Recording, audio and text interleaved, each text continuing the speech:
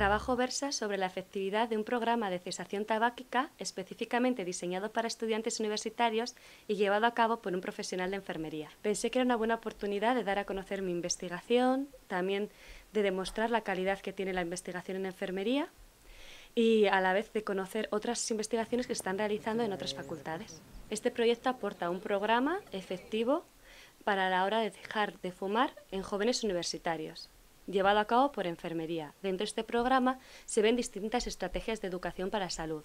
En concreto, la principal es la entrevista motivacional. Considero que esta es una buena estrategia para las enfermeras, ya que nos ayuda a abordar el tabaquismo desde un punto de vista distinto, desde los propios motivos que llevan a la persona a dejar de fumar y no tanto desde nuestra posición de experto de por qué deberían dejar de fumar.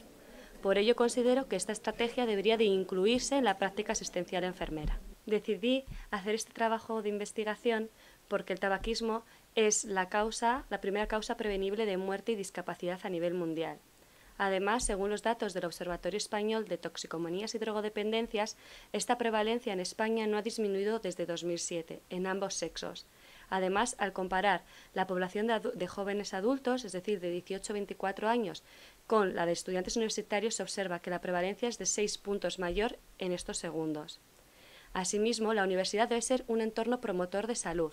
¿Qué quiere decir esto? Que debe promover que los estudiantes tengan una buena salud, ya que ellos van a hacer hincapié en las políticas futuras.